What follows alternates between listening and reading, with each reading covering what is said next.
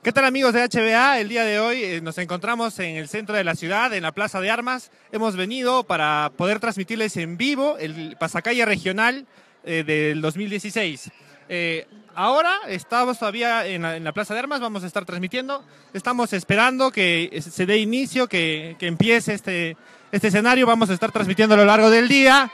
Aquí la gente, tenemos una, a la gente que, nos, que ya va calentando los ambientes y vamos a poder entrevistar a una. A ver si la cámara me sigue. Señorita, ¿qué tal? Bienvenida. Es para HBA en vivo. ¿Su nombre? Es Leili.